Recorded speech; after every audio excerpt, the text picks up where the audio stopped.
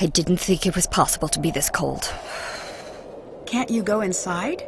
They keep asking people to fix this broken heater so I can watch over my ship. You know what Gunnar told me?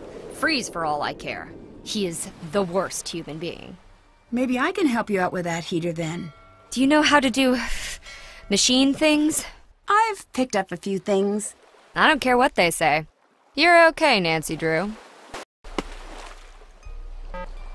So we're gonna do this middle management style. That is, you do the work and I supervise. Each of those circuit pieces will attach anywhere on this board, but there are special numbers you've gotta watch out for. Covered numbers add together to give that piece a total value. If you can use all five pieces to hit all five target values, the heater will be fixed. Hmm, you know, I'm actually not sure that's how electricity works.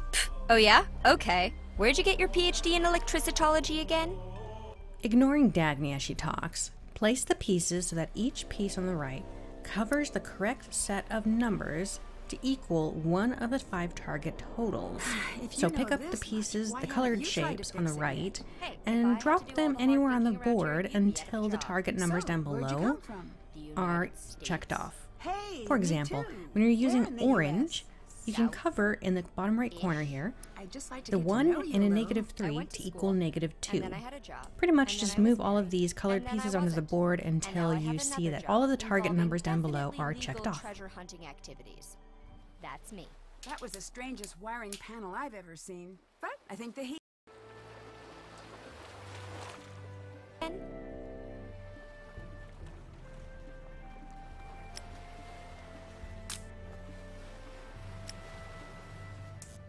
If you know this much, why haven't you tried to fix it yet? Hey, if I had to do all the hard thinking around here, you'd be out of a job. So, where'd you come from? The United States? Hey, me too. Where in the U.S.? South-ish. That was the strangest wiring panel I've ever seen. But I think the heat's on.